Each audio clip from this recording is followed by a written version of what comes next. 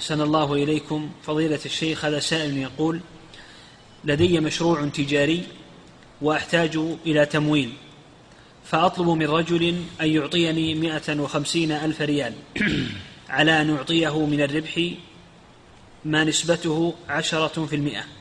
فهل هذا جائز؟ هذا قرض ولا يجوز هذا. ترد عليه المبلغ الذي أخذته منه هذا هو القرض. نعم.